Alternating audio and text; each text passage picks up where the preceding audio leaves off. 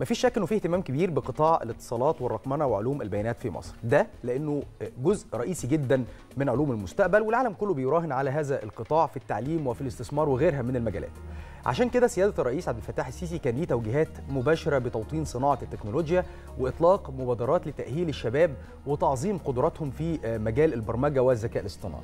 صحيح يا شاذلي يمكن بالرغم من أهمية هذا القطاع والمرحلة المتقدمة جدا اللي وصل ليها العالم كله كانت مصر للأسف متأخرة في هذا القطاع تحديدا عشان كده كان في توجه من الدولة للتركيز على تكنولوجيا البيانات والمعلومات وبالفعل بقى عندنا مبادرات كتير زي مبادرة بناة مصر الرقمية اللي أطلقتها وزارة الاتصالات وقدرت من خلالها أنها تساعد في تأهيل كوادر شبابية متخصصة في علوم البيانات والروبوتس والفنون الرقمية. ده غير مبادرة كمان أشبال مصر الرقمية اللي بيستفيد منها الطلاب في مراحل التعليم المختلفة بداية من طلاب أولى إعدادي ولحد طلاب تانية ثانوي. وأعتقد دي هي البنية التحتية عشان نقدر يكون عندنا قطاع متعلق بالتكنولوجيا قطاع قوي يا شاذلي. صحيح بكل تأكيد إحنا كمان عندنا استراتيجية مصر الرقمية ودي هدفها خلق مجتمع رقمي متكامل تعزيز مكانة مصر على خريطة صناعة الاتصالات وتكنولوجيا المعلومات. والحقيقة إنه في نتائج مهمة جدا اتحققت من خلال الاستراتيجية دي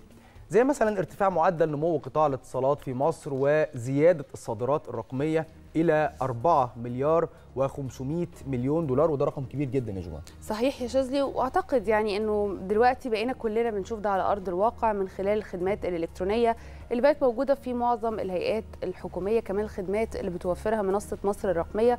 خدمات كتير جدا الحقيقة موجودة على هذه المنصة زي خدمات التوثيق الشهر العقاري والتموين كمان الأحوال المدنية وغيرها من الخدمات اللي تقدر إن أنت تعملها سواء من خلال الموقع الالكتروني أو حتى من خلال المنصة المتاحة على أجهزة الموبايلات. عشان كده الحقيقة إحنا النهارده هيكون معانا فقرة مهمة جدا عن المبادرات الخاصة بتكنولوجيا المعلومات تحديدا كمان مبادرة أشبال مصر الرقمية اللي بتستهدف كمان الطلاب في سن صغير جدا زي ما كنا بنقول لحضراتكم من طلاب أولى إعدادي لحد طلاب ثانية ثانوي. الحقيقة هذه المبادرة هي مبادرة هامة جدا وزي ما كنا بنتكلم هي يعني بالنسبة لنا هي بتؤهلنا إن إحنا يكون عندنا بنية تحتية بشرية في هذا القطاع الحيوي اللي إحنا بنسابق الزمن عشان نقدر نوصل لما وصل إليه العالم الآن. على أي حال بنصبح على حضراتكم صباح الخير والسعادة وصباح الخير يا مصر.